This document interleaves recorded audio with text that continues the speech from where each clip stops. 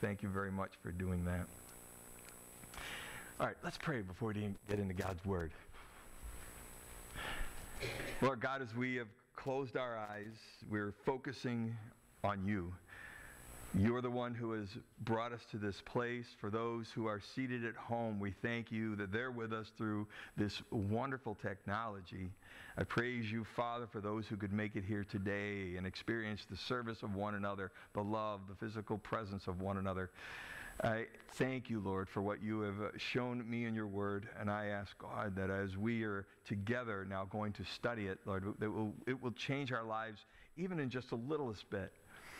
Oh, Father, we know that our the change that we experience in our lives is not something that happens uh, uh, uh, drastically day, day over day. I mean, it could happen, but Father, more often than not, it's a slow growth. And we thank you, Lord, that we can look back over our lives and see spiritual growth over time. We praise you, Father, in Jesus' name. Amen. All right, would you open up your Bibles to 1 Peter? We're going to begin chapter 4 we have been slowly marching through this wonderful, wonderful uh, book of God's Word, totally and completely convinced that these are God's truths to every single one of us. It doesn't matter how young you are. I mean, who's the youngest person here? How old's the youngest person? Jazzy? how old are you right now? What, eight? Oh, well, I think, is she, uh, Libby, are you eight as well? Yeah. So so if I and and Jasper, how old is Jasper? Two hands. Okay, he's 10. All right. So 8 years old. Libby, is the Bible for you? Does the Bible teach you how to do things? The answer is yes. She's like, is this a trick question? yes. And our oldest person, and we're not getting into that, but it's also for you as well. See, the Bible is, is God's truth for everyone. And when we come today, we recognize that this isn't just a, a neat little book full of pithy little sayings. This is a book that hits each and every age, and it hits, it hits each and every single one of us. That's what I love about this book. It's like I can preach out you know whatever i whatever the lord's word is saying but you're the one that takes it in. You're the one that ingests it. You're the one that eats it, right? Right? You take that truth and you just taste that the Lord is good. Yeah, that's what we're doing today. And that, that's what I, I love about First Peter because First Peter, he addresses reality. He knows that we're going through hard times. You know, he knows, wait a minute, Summer, how old are you? You're nine too, right? Ten? 11. Oh, you're 11 already. Well, it's for, it's for summer as well. So God deals with deals in reality. He knows the struggles we're going through and he recognizes he knows exactly what you're dealing with. Peter is communicating that in in this book, right? Peter tell us, tells us that we can face the trials of life and still have hope. Amen? Amen. Amen. Don't be afraid to shout out amen once in a while, all right? Amen. Yeah, we can. We There you go. Good. So every day, every day that we live, every trial that we go through, there's still this sense of hope. And Peter says we do it by looking up. Life is looking up. We're looking at God. We're looking at His purpose for our lives. J.R. Tolkien said this. He said, Look up to the sky. There's a light, a beauty up there that no shadow can touch. Right? We have a heavenly purpose in our lives. Each one who's a believer in Jesus Christ, we know that no matter where we are in life, our direction is up. We will be with God in heaven. And He's using our trials for that purpose. Now, as we get into this passage, I called this passage, the, the, I t- entitled this sermon, Acts of Resistance. Acts of His Resistance. I want, at the end of this sermon, I want us to, to have our, have our, be encouraged to join the resistance. We are going to come together to fight. Fight sin. We're going to fight together to beat sin. You know, when, when we were, as we were growing up, maybe you remember this, maybe you actually are experiencing this now. Let's say a child is at dinner and they look down at the food and they realize this is not something that I want to eat. So it's not, it's not pizza, it's not hot dogs, it's not mac and cheese, it's some type of casserole. You can't, you, you don't know what it is. It's delicious, right, mom? Mom makes, mom makes nothing that doesn't taste good. But a child says, oh, I, I don't, I don't want to eat this. What did, were you told when you, t- what, when you said to your mother that you didn't want to eat that? Well, one thing I was told was, well, there's people over in Af- Africa that are starving, right? Now, when I got old enough, I'd say, well, let, let's ship it over to them. she would say these things because she wanted me to just stop. She, was, she wanted me to stop my whining, right? I was suffering. And she wanted me to stop my whining. Now, see, that's not much of a solution, is it? Stop your whining, just eat. Peter approaches suffering a lot differently than that.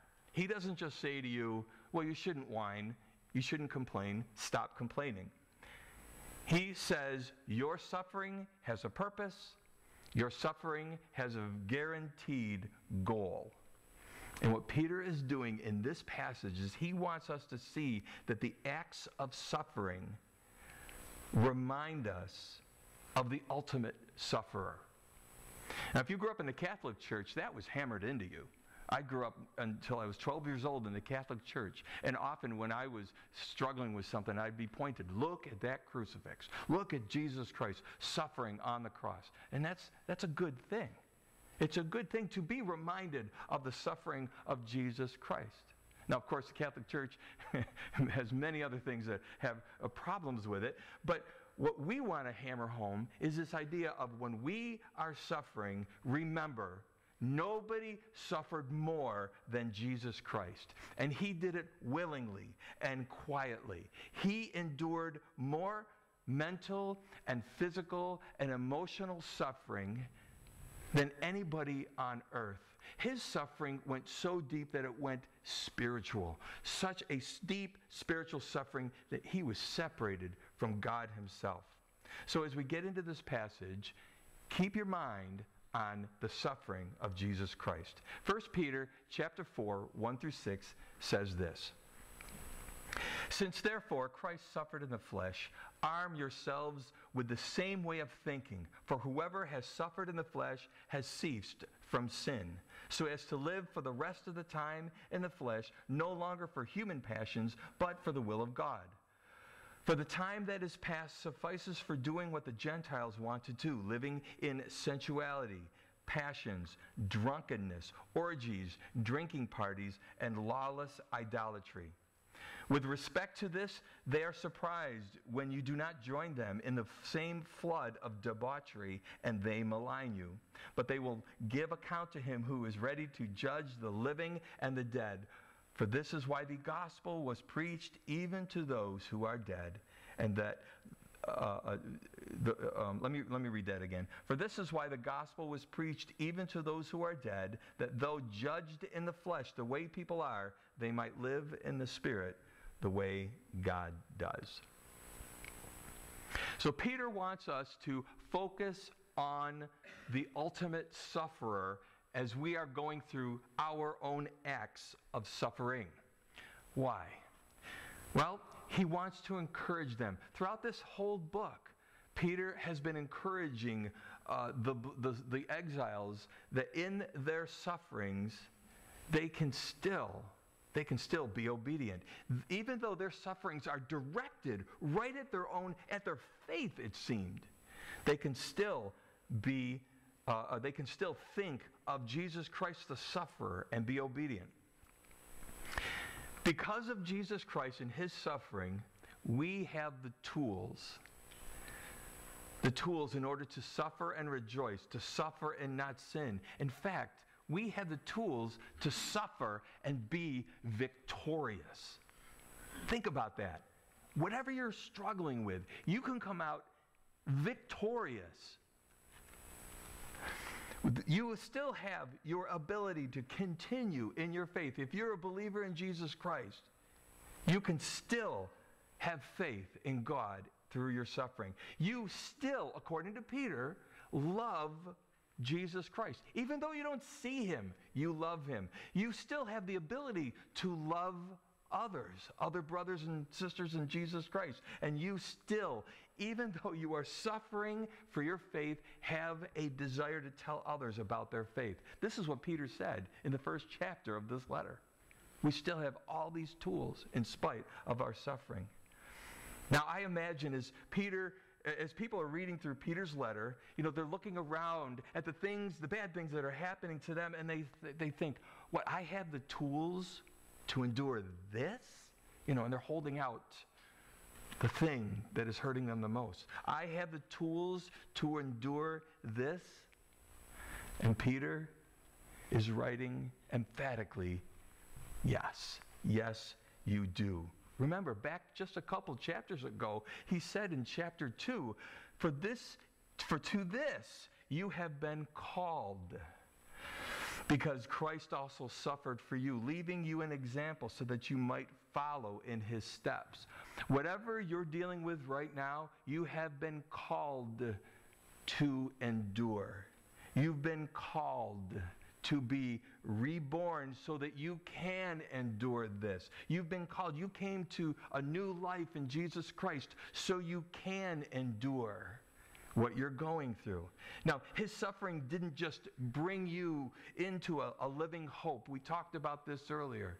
He doesn't bring you into a, he didn't, uh, his suffering doesn't just bring you to a place of an imperishable inheritance. His suffering didn't just make you and put you into these categories of, remember the chosen race, right? You remember the, the royal priesthood, the holy nation, and the people belonging to God. That's not the only thing his suffering did, did. He didn't just label you a Christian, he gave you a life of being a Christian. You've been called to a holy life, and God's, God's call is effective. When God calls you to a holy life, that means you will live a holy life because you're a believer in Him. This is why Peter says, You shall be holy, for I am holy. That's a promise. If you're a believer in Jesus Christ, you will be holy. Christ suffered to leave them an example to follow.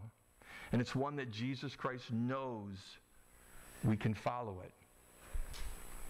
You might be looking at Jesus and saying, can, there's, is, me? I can follow that example? Peter says very simply, yes. You have been called. You've been equipped to follow that example. Now, Peter knows that Jesus Christ's shoes are big shoes to fill, but he doesn't back down. He doesn't, he doesn't temper his words. He still says, Yes, you can suffer, you can endure, because he's confident about what Jesus Christ did for us when he suffered. In 1 Peter 3 8, 3.18, we saw earlier that for Christ also suffered once for sins, the righteous for the unrighteous, that he might bring us to God. Bringing, or being put to death in the flesh, but being made alive in the spirit.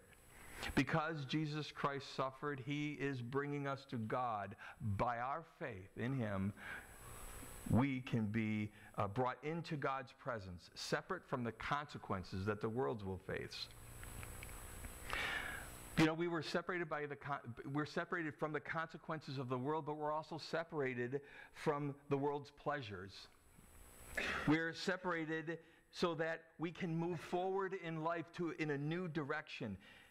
And we are moving forward facing some, some forces that oppose us. They oppose, they oppose God's desires. They oppose our desires. They, uh, and and they, they actually try to insert themselves into our lives. So, what today we're going to do is in, join in a resistance. We're going to resist ourselves. We're going to discover how to resist ourselves. We're going to discover that we need to resist our past. That's an interesting discussion. And then we're going to see we have to resist others. Simply put, peer pressure. Remember that idea? Remember back when you were a teenager? You know, everybody says you gotta, you gotta, you gotta battle peer pressure. Well, that doesn't end when you become an adult. So first of all, let's take a look at resisting ourselves. 1 Peter chapter 4 verse 1 says, "Since therefore Christ suffered in the flesh, arm yourselves with the same way of thinking." So what he's saying here, Peter's saying, in order to fight sin and to endure trials and temptations, don't just stand there, do something. Arm yourself. Prepare yourself. Take hold of the equipment that Jesus Christ gave you so that you can get past the pain and get past the humility of your trials, that get past the inconvenience of, something, of, of, of, of suffering, and think outside of yourself. He's saying, arm yourself so that you can think outside of yourself, outside of your situation. Stop focusing on your oppressors and focus on Jesus Christ and focus on his sufferings. These sufferings, these, these things that he suffered so that we can suffer, these things are bringing us into God's presence and making us holy. So when we think outside of our trials and our struggles, we recognize we are being made holy. Verse 2, as you, I'm sorry, you continue in verse through verse 1, it says, For whoever has suffered in the flesh has ceased from sin, so as to live for the rest of the time in the flesh, no longer for human passions, but for the will of God. This part is a little difficult to translate. You might be thinking that yourself. Boy, what does that mean? Is Peter trying to say that all a person has to do is suffer and they won't sin anymore? How many people are able to do that? Anybody? Anybody? No, of course that can't be what he's saying. This whole book is all about how to resist sin. If there was no problem, all you had to do was suffer, there'd be like one paragraph and that would be it. Just start suffering and you won't sin anymore. That's not what he's saying. In fact, if we look back through the history of, of, uh, of Israel, a Pharaoh suffered greatly through the ten plagues. Did he repent? Absolutely not. Was he still sinning? Absolutely. So sin, you know, or, I'm sorry, suffering does not stop sin. You continue to sin through, you, through suffering. In fact, some people grow more bitter towards Christ through their suffering. A misinterpretation of this passage has caused people to, uh, there, there's, um, I, have seen this uh, in, in, like on YouTube where people will, because of passages like this, will take these little whips and, and beat themselves with the whips, thinking that that's driving out sin. And that's wrong. I don't expect anybody to go out and create for themselves one of these little whips and start beating themselves. Don't do that. That's not what this is saying. What Peter is saying is that those who suffer in the flesh, just as Christ did, have ceased from sin. Because of their faith, they have ceased from being a slave to sin. They have ceased, because of their faith in Jesus Christ, being condemned by sin. They have ceased, because of their faith in Jesus Christ, from being conquered by sin. And as we yield ourselves to God underneath the blood of Jesus Christ, we can have the same thinking towards, G, towards sin that Jesus had. It can, this can be overcome. We can overcome the old life. We can demonstrate a life obedient to Jesus Christ by not being dominated by sin. In fact, I was reading a commentary, and this is not my own thought, but I love this, and I'm actually going to use this now going forward. Think of this, think of this passage in this way. Think of our suffering as a way to wean ourselves off of always expecting to get our own way. I love that, I, that thought. I am suffering, and I am not getting my own way. Use it as a way to prepare yourself to not always get your own way. That's an old bad habit, isn't it?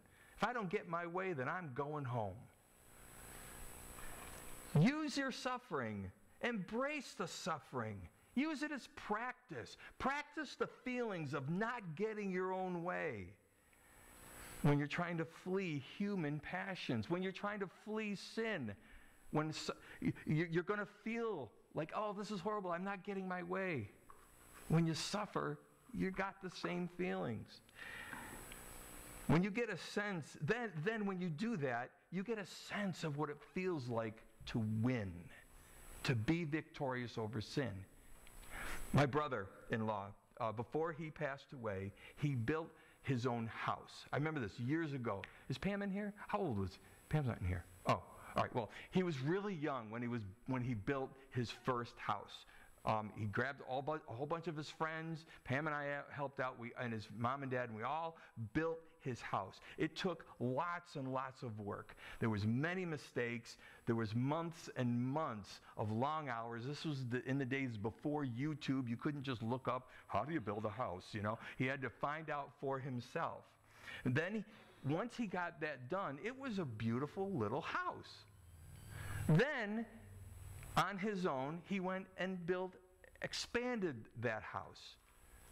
And then on his own, he built his own business. And then he built another business. By the time he had passed away, my brother in law uh, died when he was 50 years old. He had three businesses, a big, gorgeous house, and 100 and some acres of land that had a Christmas tree farm. That's impressive. But I think one of the things he, that I, I think that he learned how to win, how to be successful from that first house that he built. It was hard. It was massively hard. It was time consuming. But it gave him the understanding of what it feels like to win, to succeed. That's what suffering can do for us. As we don't get our way, we know what it feels like. And then when we resist sin, we're going to know what it feels like not to get our own way. Now, that's excellent. That's a really great thought, but God knows that there are things that fight against you. And this thing, this one thing that, that is fighting against you, hits you right in the conscience. It's something that Satan uses against you all the time. And this is an obstacle that will never, ever go away. And it's what we've done up until the point of our salvation. Not only do we have to resist ourselves, but we have to resist our past. Does anybody have a perfect past where they've never sinned? Of course not.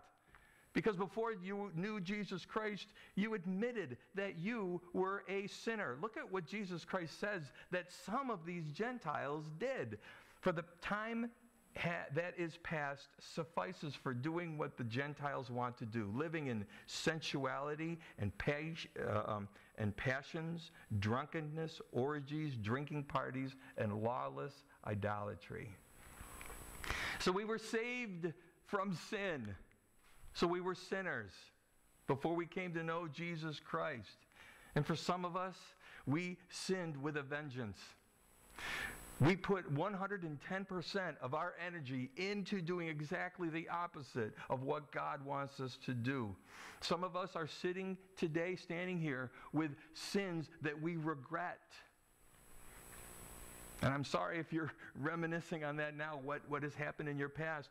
But I'm here to tell you that Peter says you can get past that. Look at the life of sin that Peter knew existed in some people's past that he was writing to at the time. He said, You are uh, uh um, you are deal, uh, uh, delving into sensuality. What he meant there was any unrestrained um, uh, uh unrestra- any, any activity that's unrestrained by morality. He said passions. This is excessive cravings to do the things that displease God, passions to displace affections from God to other things. he said drunkenness. Now, this doesn't just mean alcohol, but it's also any, any substance that's used to affect a person's uh, a, a perception or providing a distraction. Orgies. He's talking about binge parties, basically uh, having a, a party that has of excessive eating and drinking, and it just throws morality out the window drinking parties. They would actually host them, make sure that everybody knew about them, brought them together so that they can do all these things. And they had lawless idolatry, giving all of these activities religious significance. Can you imagine that? That's what the sin the people were involved with.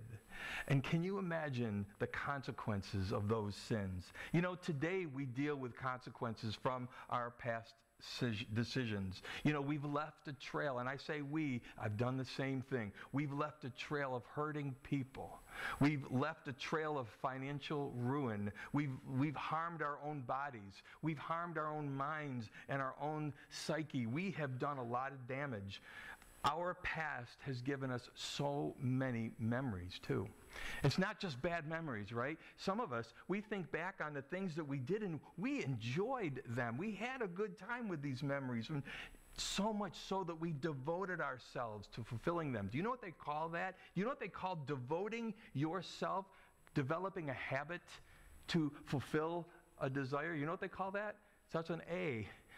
It's an addiction, right? Addiction is such an interesting word in the Bible. The, it's another word for devoting yourself to something. They, you've given yourself to something.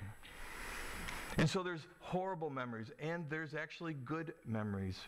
Good in the sense of enjoyable memories to our, our sin nature. Peter says that the past suffices for the sin.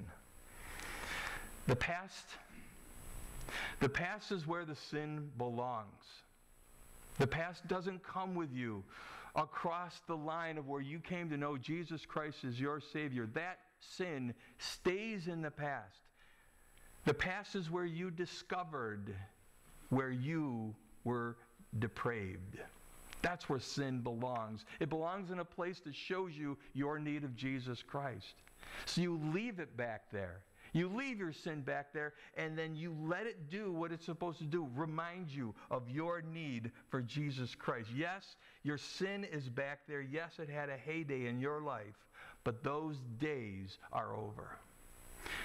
It's like a, a, a, man who's wearing a high school football jacket 20 years after he graduated from high school. Those glory days are over, sir. Take that jacket off and put it in the closet, put it away, burn it right? That's what sin is. It had its heyday in your life. Let it go. It did its purpose. Now, while its earthly consequences may still be with, with you, the eternal consequences are not. Praise God. Therefore, we're not called to be devoted to sin any longer. And that's good. But yet, we're not done yet because there's still another entire system of thinking that is fighting against you, and it's our peers. It's the people that we partied with. It's the people that we enjoyed the debauchery with. You know, we've war- we're warring against our own nature, we're warring against our past, and now we consider warring against our peers. Verse 4 says, With respect to this, they, your peers, they're surprised when you do not join them in the same flood of debauchery, and they malign you. But they will give an account to him who is ready to judge the living and the dead. I thought, what a great, what a, Peter is, is honest. Look at how he deals with the reality. You see their reaction? It's, it, it's not that they're, they're, they're not happy for us, but of course, they're, at this point, they're not angry with us. They're just, you see the word? Surprised. This is a sincere reaction. It's not necessarily an evil reaction. They're, they're just surprised. The word for surprised here is, is, a tra- uh, is defined as to be impacted by something strange or something new. When, when they see that you've changed your behavior or they see you're not joining them in their debauchery, their honest to goodness reaction is, wait, what? They, and, and maybe they'd send a text to one another. You know, so and so is not going to be joining us tonight. Shake my head. That's a SMH when you're texting. You see SMH in texting? Means shake my head. What? Why are they surprised? Well, because these activities, this debauchery, whatever they're doing that's sinful, is something they've been doing their entire lives. It's something that they, they it belongs in their life. As far as they're concerned, this is how you do life. This is how you, you get through life. This is how you spend your downtime, or, or this is how you deal with struggles. That's just the way it is. And God says that they're surprised because their debauched lifestyle fits perfectly with their sin nature. Doesn't that make sense? That's why we were so happy with it. It fits our, it fits our sin nature. It fits their natural impulses. It fits their thinking. It fits with their passions and their goals. And so when somebody behaves with God's desires in mind, it just it doesn't make sense. What? Shake my head. You know, it also shines a light on their own sin. You know, even though they're surprised, even though it's something that they think fits, they still know it's a sin. And so they're at the crossroad. Do they repent or do they reject? You know, Peter says they reject. In fact, it's, it's kind of interesting. You would hope that they would say, well, just if they don't accept it, at least they just say live and let live. Peter doesn't say that. He says they will, what's that word? They will what? That's right. I heard it inside of your heads. Malign, right? They'll malign you. In other words, they'll slander you. We've talked about this earlier. They will slander you because, because our lives are testimonies. Those who participate in the debauchery, they look at these loud, clear testimonies of our lives who are walking away from that debauchery and they defend themselves against it. And they slander us. They want our testimony to be look, to look foolish. They want our lives to look uh, idiotic. It doesn't make sense, and so they slander us. And so when the disciple of Christ in frustration says, Why do people slander me when all I want is good? And it's because of this. This is their motive. Our lives expose their sin and they feel guilty. And instead of accepting it, they return or they turn against God and they turn against his people. And verse 6 says, For this is why the gospel was preached, even to those who are dead, that though judged in the flesh, the way people are, they might live in the spirit the way God does. So after thinking of all this, what, of, of, all the, of these three things, the, these things that we're warring against ourselves, uh, our, our past, and our peers, Peter says this is why the gospel was preached, even to those who are dead. Now, this statement has three possible meanings. If you read uh, any, any number of commentaries, you can see people take different sides on this. And there's an unfortunate uh, uh, teaching that has come out of this passage. Some people say that because of this passage, it says that those who have died without hearing or believing the gospel have a second chance once they've died to hear the gospel again. Now, if you've heard that, don't believe it. There is no scriptural support for that at all. Once a person has died and entered the presence of God, if they don't know Jesus Christ, they are condemned, and that's it. And, and, it, and this is why today, if you don't know Jesus Christ, today is the day of salvation. There's no scriptural support, there's no confidence you will have at all, that you should have at all, that you will hear the gospel once you are dead. So, truly, then, what is, what does it mean by those who are dead? You know, it could be one of the next two. You know, I've, I've reasoned through them, thought through it a while, and it's like either one works. And, and maybe later on you and I can have a discussion about what you think is better. But let's take the first idea. How about those who, the, the, those who are dead are actually those who are spiritually dead in sin? right? And those, the gospel is preached to those who are alive today who are dead in sin. And even though uh, they are uh, uh, okay, yeah, and, and even though they're judged by people now, even though they're looked at from the outside and, and judged by people, they, those who are dead in sin will resist that judgment, will resist those who will want them to come in and be a part of their debauchery and come to salvation in Jesus Christ. Or it could be those who've died already because they've been suffering, or if maybe they've died through their suffing and while they were alive, they heard it and received it. And even though they were judged and put to death by those who judged them in the flesh, they now they are now alive with Jesus Christ. Whether it's B or C, whether it's B or C, the believers face a different future than those who rejected Jesus Christ. Rather than facing judgment for their sins, their penalty has been paid by Jesus Christ on the cross. The last earthly effect of sin is physical death, but after physical death, they are led to eternal life. So, what we need to remember is when we're suffering, when we're struggling against sin, against trials, when we're dealing with fiery trials, God says resist. Join the resistance. Resist your own sin nature, your sinful desires. Resist your own past, your regrets, your memories of the good and the bad. Resist your peers.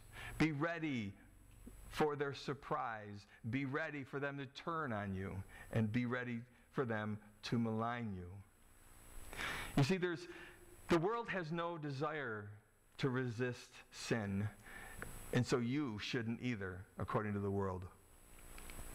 Talking about this idea of peer pressure, there was a, okay, this is a story. There wasn't really a spider talking, but there was a spider who built a beautiful web in this old house.